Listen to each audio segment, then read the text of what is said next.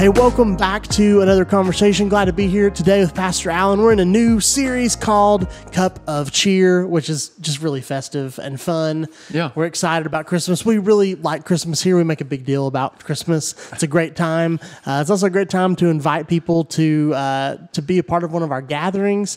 And uh, Christmas at Highlands weekend, we'll just tell you on the front end, December 22nd, we're going to have our normal Sunday morning time. It's going to be an incredible experience. And then uh, that Monday, the Christmas Eve Eve, uh, we're going to have a candlelight service in the evening at all of our campuses as well. It's going to be an acoustic service. Uh, it's going to be really cool. We we we did this last year Yeah. as a trial, and it was great. So we're going to do it again. Yeah. Uh, it's going to be it's going to be good. So if you want to invite your family um, to a, a kind of an intimate um, acoustic thing, we're going to have candlelight. Obviously, it's going to be great. It'll be a great opportunity for you to come. Um, we're excited about Cup of Cheer. Why don't you share a little bit about the series? Yeah, you know, I love Christmas, and it seems like our church just absolutely loves Christmas as well. our kids love it. So it's just a neat season that we can sort of come together and have some time of celebration. And then we thought this year, what could we do to share with other folks? Well, everybody needs a cup of cheer, you know? Yeah. I mean, everybody.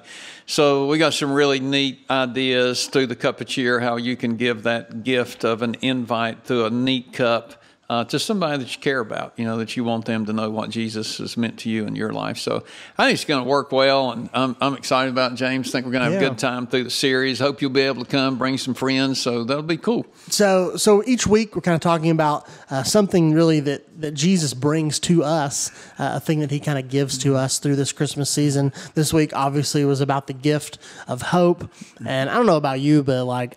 I can I can always use some hope. Yeah. You know, I'm never I'm never like oversupplied on hope. yes, it's I always need more. Yeah, hope is one of those things that, uh, you know, until you don't have it, you don't know how precious it is.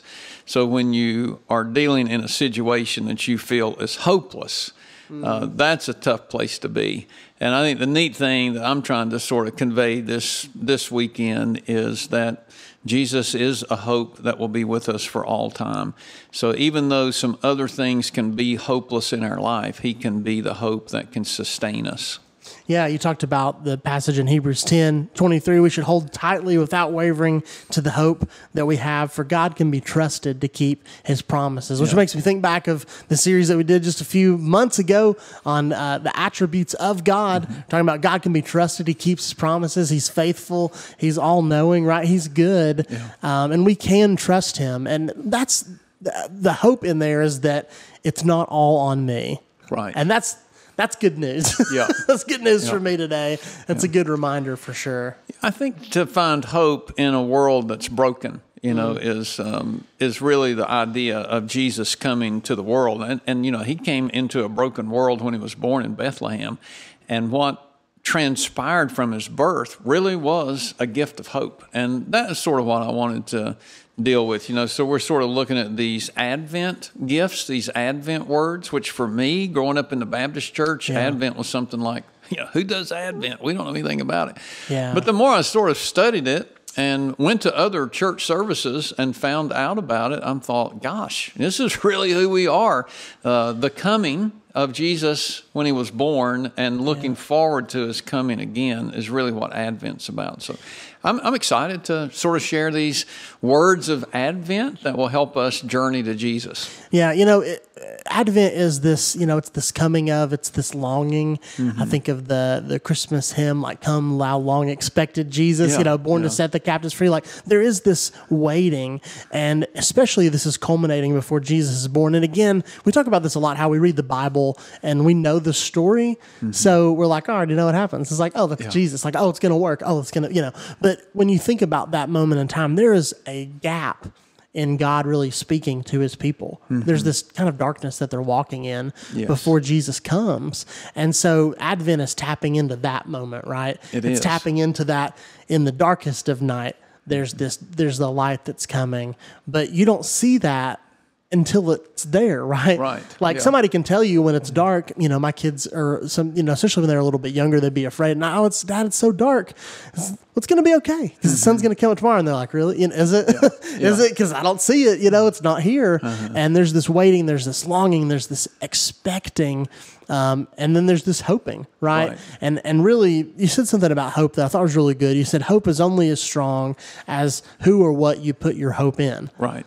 Yeah. So you know, if if you put your hope in, um, I don't know, you know, your favorite sports team, they're going to let you down, right? Like they're going to fail you. You put your hope in like winning the Powerball, like you probably won't. you know, what are we going to put our hope in? That really says a lot. Yeah, it does. I think that's a key to understanding what Jesus can do in our life, you know, because we're we're people who often Jesus is almost at times our last resort rather than our first response. So mm. we we think sometimes we know better than him and we'll put our hope here and we'll put our hope there and then we get busted every time, you know. Yeah. I'm not saying every time, but there are seasons of darkness that we all experience. We've all been through those seasons of darkness. And I think what Jesus does is bring hope to our darkness so he can lift us from addiction or you know financial woes or even disease. Yeah, in those dark times when we've lost somebody that we loved i remember when i lost my dad it was just such a struggle. That christmas it was a dark season for our family. It's just my mom and i around the table and you know half of our family had uh, had were deceased and and and yet we found that we had hope in jesus and Yeah. it was sort of a celebrity, a, a celebration kind of thing Sure. as we began to think about, you know, our family is with Jesus because they knew him. That became really important to us. And that's, you know, something we were talking about hope the other day and how difficult it is to even describe it mm-hmm. because it's not just, oh, I want this, right? Oh, I, you know, I, sometimes we say that, right? Like, oh, I hope I get this for Christmas, right? I hope I get this. I hope I get that promotion. But hope is, there's a deeper thing to that too, where it's even in the difficulty, like things are bad right now. But even in that, I'm still trusting that God's going to come through. And that's where, like, you know, we talk about the Holy Spirit being our comforter. And, you know, sometimes that feels weird to really think about. But to, to me, those are those times when mm-hmm. God can really come through in your life when you do need Him because He is faithful to do that. Yeah, I think so because often we get angry at God when things don't work out. So we mm. move from trusting in Him and believing in His hope to something in the world. Yeah. And it, that only takes us farther into darkness. You know, mm-hmm. when we, I, I just remember thinking, well, I guess I could go to the, you know, to the bar this weekend and drink my sorrows away. And because a lot of people that becomes an option, you know, well, I'll just go there because God wasn't fair to me. Yeah. But, you know, He's really the anchor we need, even in our times of disappointment and discouragement. Rather than thinking that we have the answer, if we go to Him, He can pull hope even in the midst of darkness. You know, it's pretty incredible. Yeah, that's good. You talked about um, some things that having that hope in Jesus gives us, and I wanted to hit on one specifically, which is the you said you called it the gift of a new beginning, and I love that because. Um, you know, maybe for you this Christmas season, you're like, man, I could use like a fresh start. Yeah. You just- I don't need to wait till January. Uh-huh. Like, I need one now. Yeah. You know, and, and really hope is something that can give us that gift Right. of Yeah, I think that Christmas now in our culture is the place where possibly you might come if you don't believe in any religion at all. You know? Mm-hmm. But something about Christmas drives you to a religious service. Now that's not really we're not we're not about religion here at our church. We're about Jesus. Yeah. But if we can help people understand Jesus and help you bridge to Jesus in your life, we know your life's going to be better because we know ultimately He created us. So we're not saying that that we know it and you don't. That's not what I want to come across saying. But I'm just saying, in my own desperation and darkness and time of depression and anxiety, Jesus became a foundation on which I built my life. And I want other people to experience that. So Christmas now begins the season in our culture that you might give us an opportunity to at least speak into your life. Yeah, and and you know it's easy to to go from there. Maybe you've heard people make promises, you know, about what God's going to do. Oh, he's gonna he's gonna do this. He's gonna do that. He's gonna you know, if you do this, he's gonna do this, and it doesn't usually work that way. It does not, Uh, You know, the Bible talks about him confounding the ways of of intelligence and stuff, and he does what he wants to. Um, but I think what we can say, because of, of who God is and who He's revealed Himself to be through Jesus, that He is hope. He is a foundation that we can trust. That doesn't mean we get a new car, right? That doesn't mean we get everything Yeah. we want. That doesn't mean our marriage is going to be perfect tomorrow. But maybe it's just the hope to stay in it one more day. Maybe it's the hope to take that next step, to do the next thing.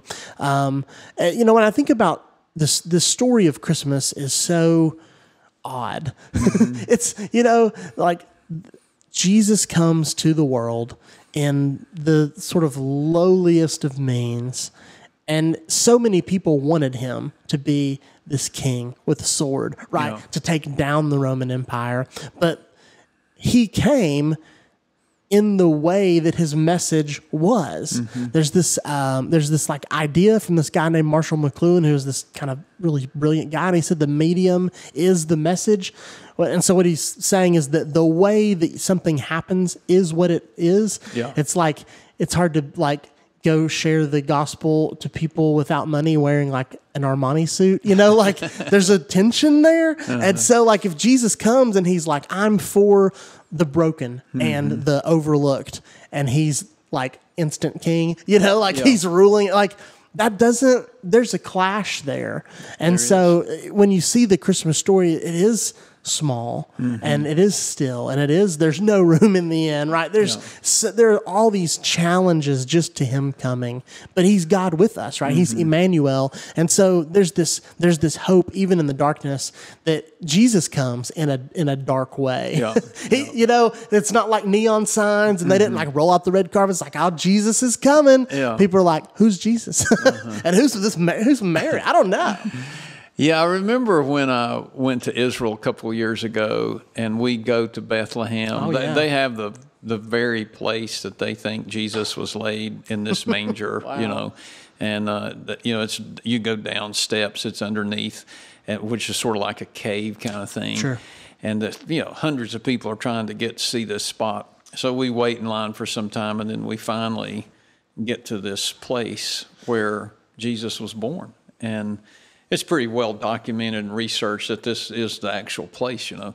And I'm, I'm telling you, something just, it occurred to me that this is where it all began. You know, this, mm. even though God had been, you know, from existence from the beginning, but when he came to earth, this is, and I, you know, as you look around Bethlehem, it's a broken place, you know. Yeah. It's a humble place. When you mm. look at the whole nation of Israel, it's not rich in its agriculture, it's rocky and rough. And, Yeah. and here Jesus comes to this place in those early beginning days as a sign that I'm going to mend brokenness. Yeah. And so he's, you know, he's with you. And so if you're watching this, man, anywhere, wherever you're watching this today, um, I hope that you hear our heart, and that is that God is with us, Yes. even in the darkness. is and he's us. literally proving that uh, through the, the beauty of the Christmas story. And so well, I don't want you to miss that in the midst of all the like excitement and noise. And that's fun. Like Christmas is fun. It's fun to have presents and have family and Christmas trees. Like, do it up, right? Yeah. Enjoy, have fun with your family. Yeah. Don't you know? You don't have to be sad because oh, you know, woe is me. But man, when you're in that place, and maybe you're there right now, and if you're not there, uh, the bad news is you will be at some point, right? Yeah, it's not always up and to the right. I think Christmas is a season that if everything in your life is up and to the right, you know, everything's coming up roses for you, man, look across the road, look down the street, look That's at right. work, and give a cup of cheer, you know, to somebody who is going through a hard time. You don't know what a difference that can make in a person's life. Yeah, and that really is the hot deal. Is the series is that it's as easy as sharing a cup of cheer with It someone. is. It's as easy as making that step, and maybe that's you know giving them a cup. If you come next week to our, one of our gatherings, you can get one to give to your friend, to your just one. Um, but you don't need that cup to share a cup of cheer, right? You can do it anytime. Go grab someone a coffee. Go grab someone a hot chocolate, or just be kind to them, right? See someone in need and do something about it. That's the story of Christmas, right? God sees our need, He does something about it. Yes. He doesn't just say, hey, be well. Mm-hmm. he comes into our mess. And so, uh, yeah, I think that's a great way to kind of put that is if you're in a good place and you're like, man, I'm doing great, mm-hmm. you know, I'm coming up, it's like, okay, take some of that excitement and share it with somebody else because yeah. you don't have to look far to see someone who is hurting and who is in need and who needs hope. Um, so I hope you enjoyed the message this weekend and this conversation. We'll be back next week with another word of Advent and uh, another kind of plug for all this is you can read our, our blog. If you go to hf.church, you can find all of these resources. We're going to have daily content with devotionals from some of our staff. We're going to have videos. We're going to have all kinds of stuff uh, to help you stay connected this Christmas season. Share those with your friends. If something resonates with you on our website, man, share that with somebody. Uh, those, those are great resources for you to share. And uh, so thanks for being here with us today, and we'll see you next weekend.